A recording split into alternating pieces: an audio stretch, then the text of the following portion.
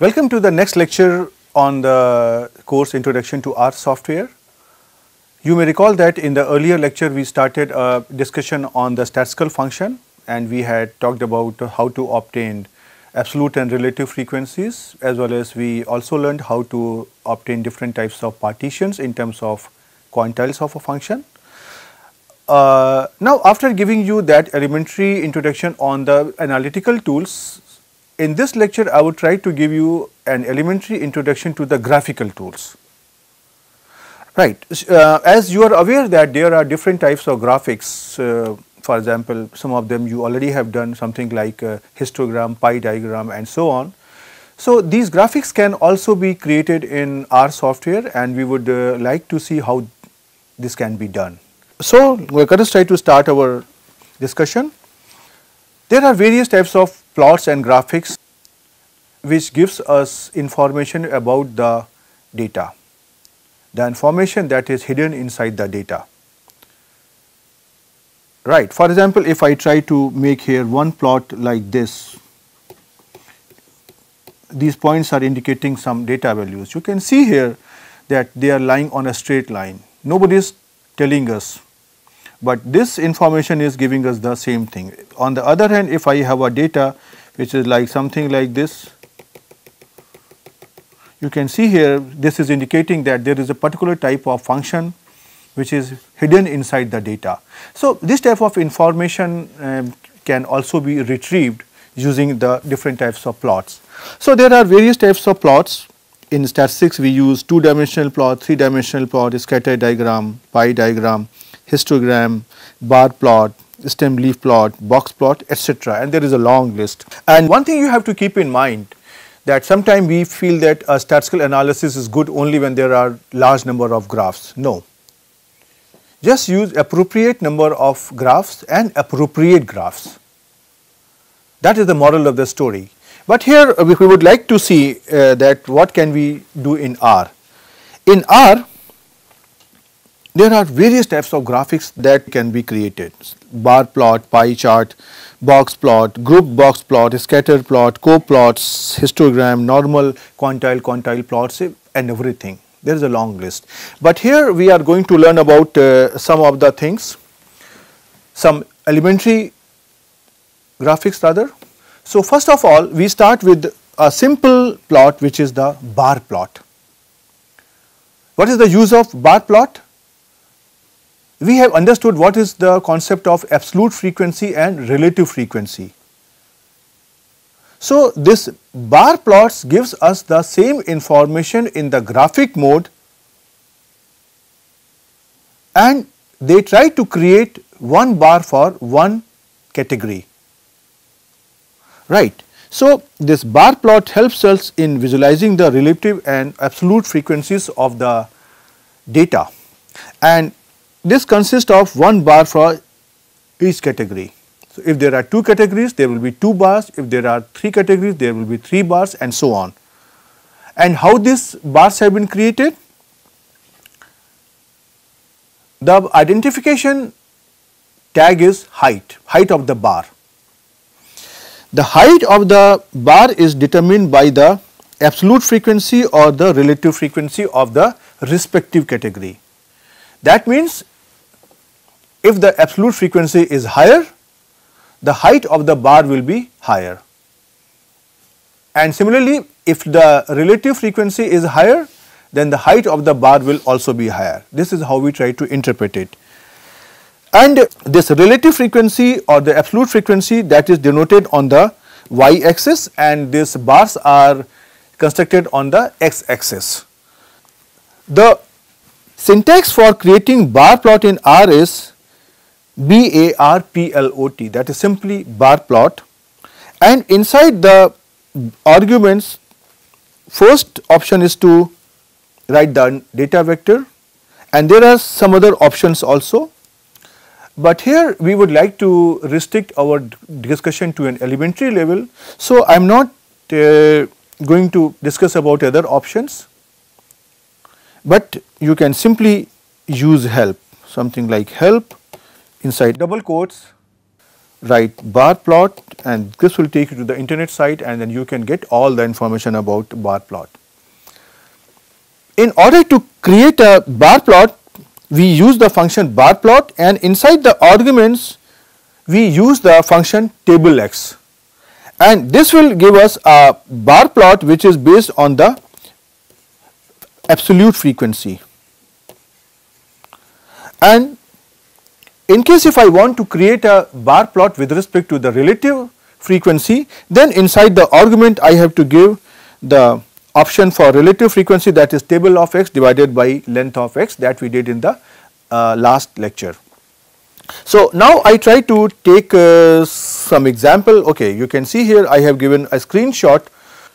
Now in order to show you that how to obtain the help on the bar plot let me go to the R console and here I type help then bar plot and you can see here this comes out to the R server and here you can see here all these details are there. So, I am not going to discuss these details, but I will request you to go through with details. And here I have given the options uh, which, which, are available on the site. So, now we try to take uh, some example and we try to create the bar plots. So, here you see we have considered the same example that we considered in the last lecture and I also requested you to keep in mind two examples the data on pizza delivery and this the data on uh, 10 persons who are categorized into two categories male and female and their categories are denoted by 1 and 2, 1 for male and 2 for female and this data was stored in a variable gender right. So, now I try to create the bar plot and as usual I simply try to write down bar plot inside the variable gender and I get here this thing. Do you really want to have this type of plot? We discussed that there are two categories. There are two categories. One is for male and another is for here female. There are 7 male members and there are 3 female members. So, ideally there should be only 2 bars. What is really happening over here? So, if you try to see here, we have made here one mistake. I have used here the variable directly. I have not using the table function. That is why this problem is coming and actually it is not a problem. This is trying to give you the bar plot for each of the observation. This is for observation number 1, this is for observation number 2, 3, 4, 5, 6, 7, 8, 9, 10. So, you can see here you had uh, got here 10 observations and every observation has value 1 and 2 for example if you try to concentrate on the first two observation first observation is 1 and second observation is 2 and the same is denoted here. This is here 1 the height is proportional to the value 1 and this height is proportional to the second observation 2 right so this is a mistake. Be careful. Now i obtain the table and then I try to create the bar plot. So, if you try to see over here, here I have obtained first the table of this variable gender and then I am trying to create here the bar plot of this variable table gender and I get here this type of graphic. So, you can see here that here this is denoting the category 1 which is for here male and this is the category 2 for here females. And you have seen that there are 7 male and 3 female. So, this number here is 7 and this number here you can see this is here 3. So, their heights are proportional to their absolute frequencies.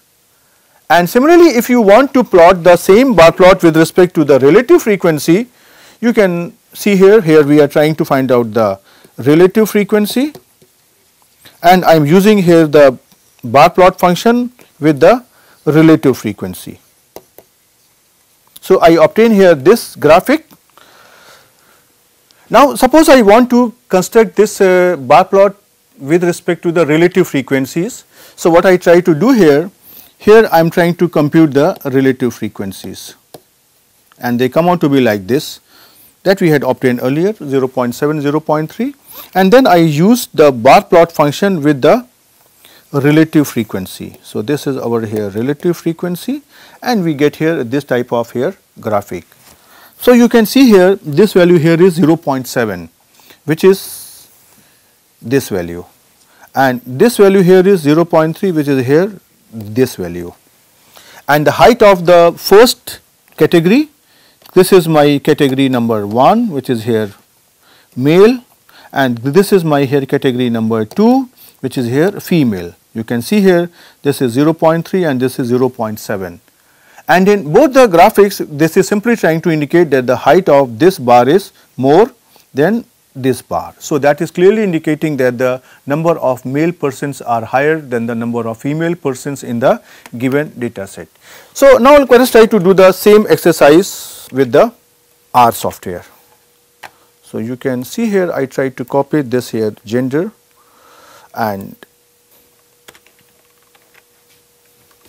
so this is our data set gender and as usual I try to make here a mistake by simply writing gender variable with bar plot you can see here I get this thing right. So, okay now I try to go with here and now here you can see when we are trying to move forward, do not you think that it is more easy to use the R Studio, possibly you have forgotten that we had discussed about the R Studio software in the initial lectures.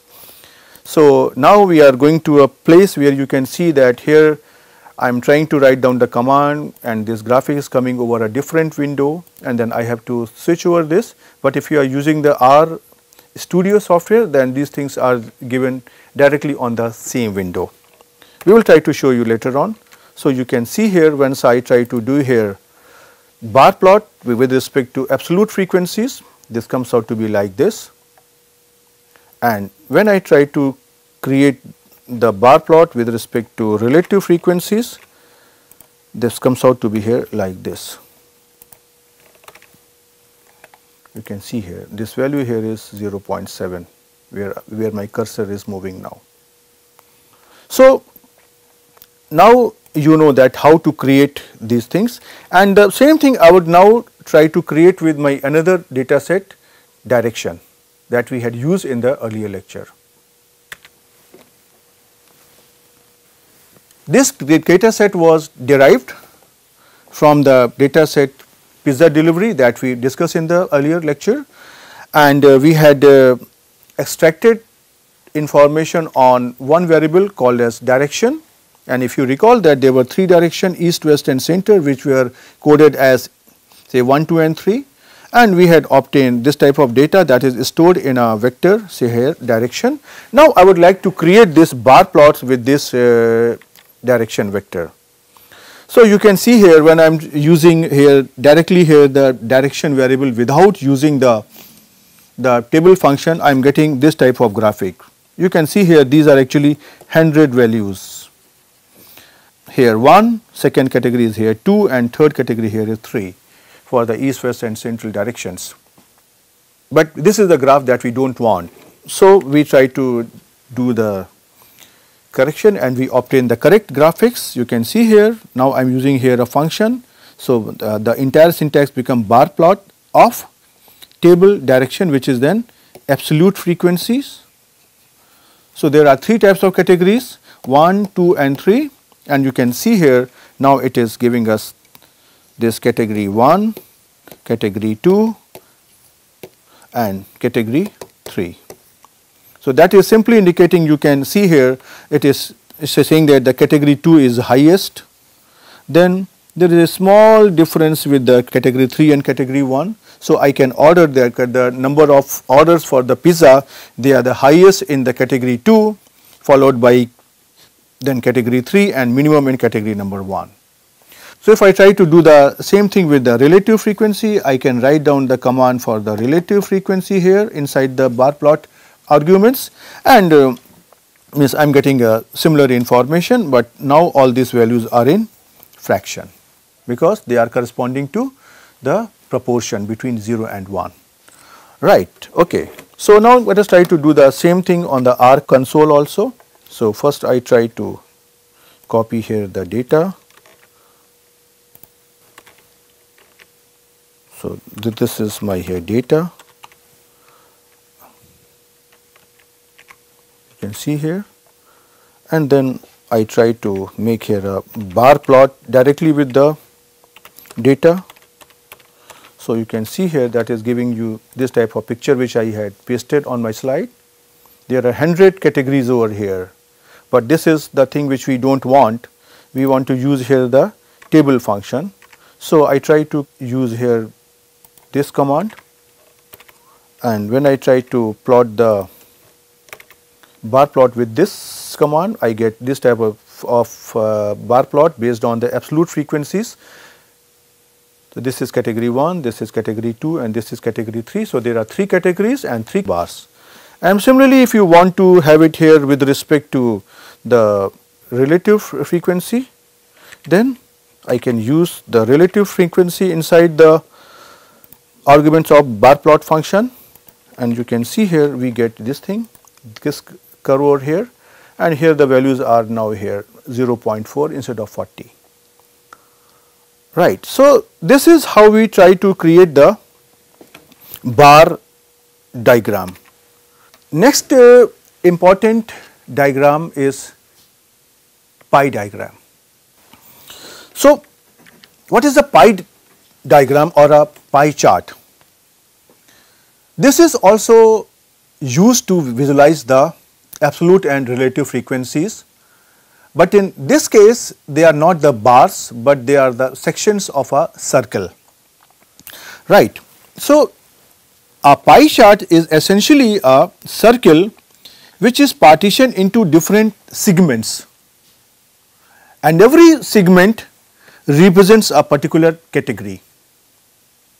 So, for example, in case if I have two categories as in the example of male and female, so I will have here two partition, two segments inside a circle. And similarly, if I have some more data where I have got 5 categories, then there will be 5 partitions and they are indicated by different colors and uh, different types of values. Okay. So, the question is how this size of segment is computed. The size of the segment is computed by this formula frequency into 360 degree.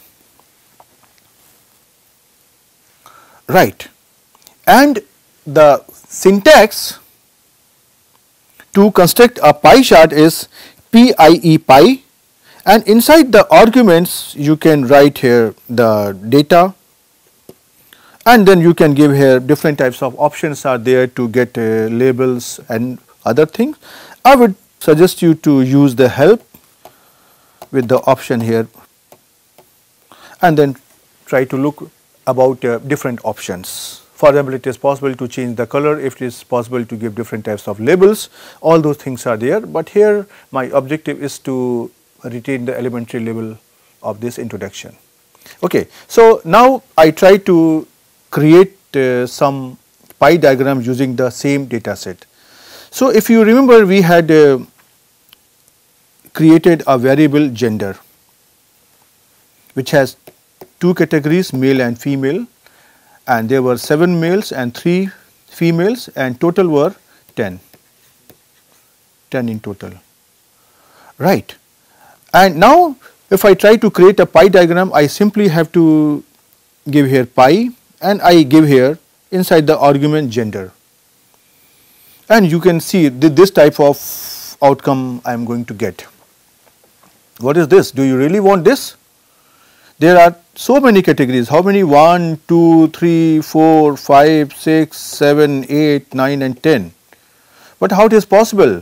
There are only two categories in your data, male and female. So, because I have used here directly the gender, I have not used here the table gender. That is the common mistake which uh, people make. So, but this is not a mistake, R is doing whatever you ask to do it you gave the data and it divided the data into 10 different categories. So, now we try to correct our mistake and we try to construct the pie diagram using the say absolute frequency and this can also be done with the relative frequency that will not make any difference because the angle will remain the same whether it is 0.7 or 7 because angle is computed with respect to the total frequency. Okay, so when I try to do it I get here this type of data. So, you can see here that here is a circle and this circle is divided into two categories. One category is this and two category is given here in the blue color.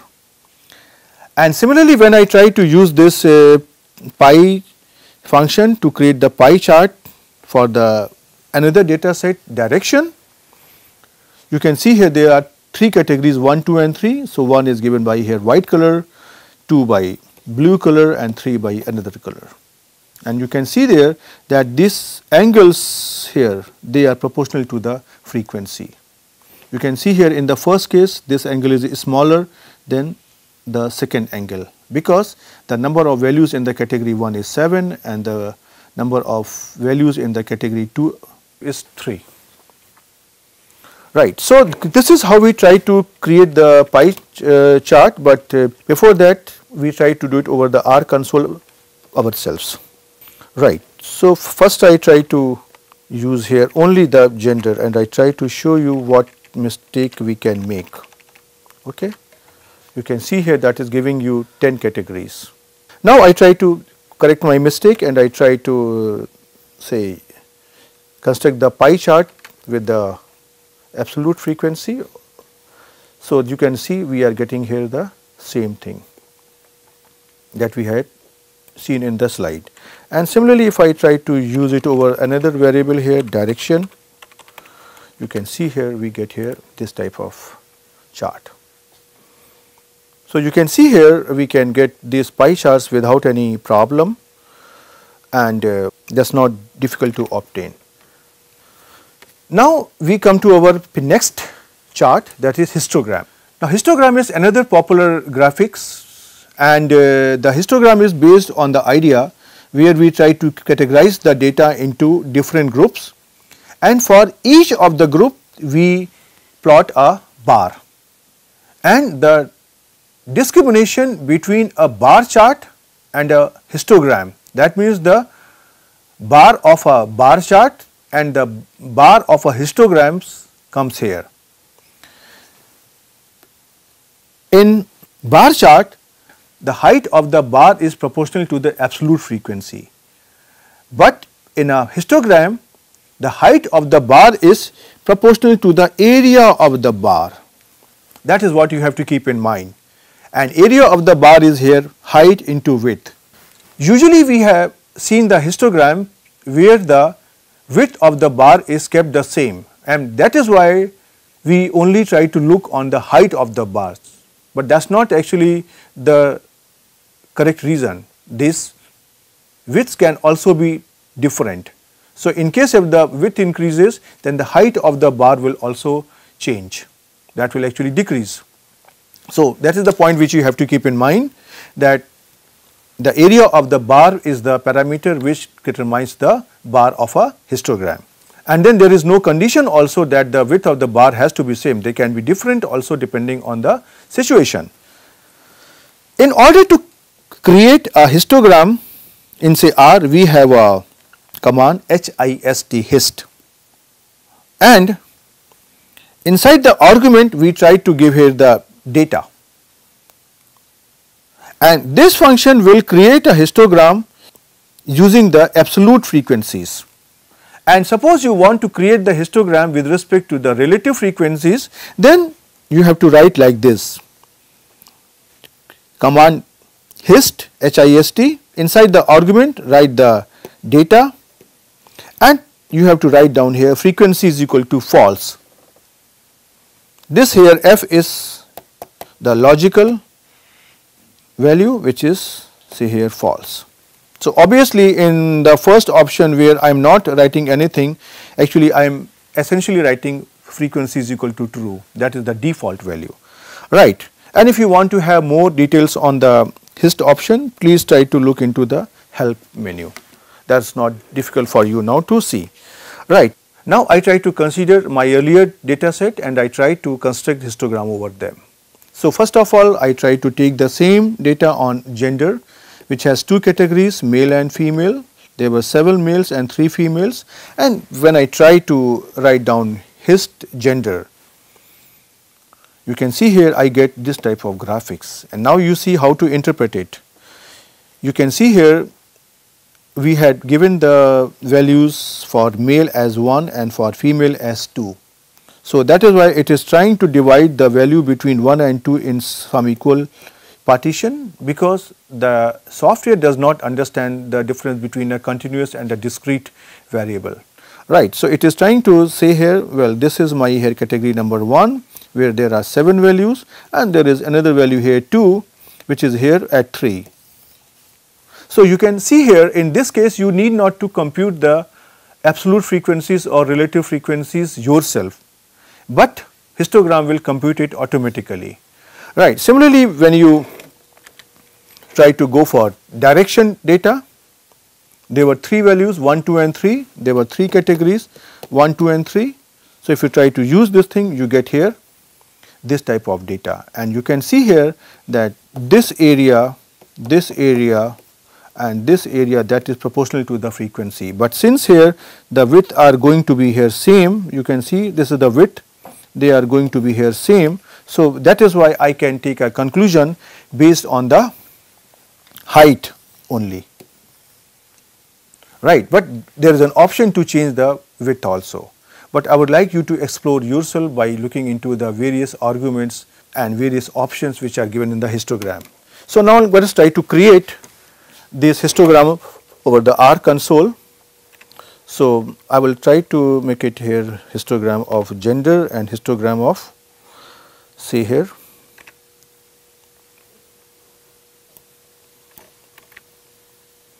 So, now let us try to create this histogram. You can see here I will use here that same data set hist gender. So, you can see here here I am getting this thing and Similarly, you can plot the histogram with the data direction and you can see here that it is coming here like this. Right and here you can see here all this value where I am moving my cursor this value is here 40. So, that is based on the absolute frequencies. Right if you want to use here the relative frequencies I have to give here frequency is equal to false. And if you try to look over here, this value is going to be changed. Initially this is 40 and as soon as I enter here, this becomes here, say here something else because now that is based on the relative frequency. And in the same command if you try to make it here true, you will again get here the 40 value you can see here. Right. Similarly, if you want to have the histogram with relative frequencies for the data gender, you can just create here gender. You can see here that is the data with relative frequencies. So, now we conclude our lecture here and uh, we have discussed bar plots, pie chart and histogram and we have restricted our discussion to an elementary level. Now, there are different types of options. For example, if you want to change the color in a pie chart or if you want to make a particular type of label, you want to give a name to different categories. Simply in say histogram or in bar plot, you want to write something on the x axis, something on the y axis as per your requirement, these things can also be done. And these are very very simple thing. You simply have to go to the entire command of say bar plot pie or say histogram and then you have to simply give this option inside the argument and you have to give the required values over there and you will get the graphics in the way you want. So, we stop here and in the next lecture we will come up with some more details on statistical function. Till then, goodbye.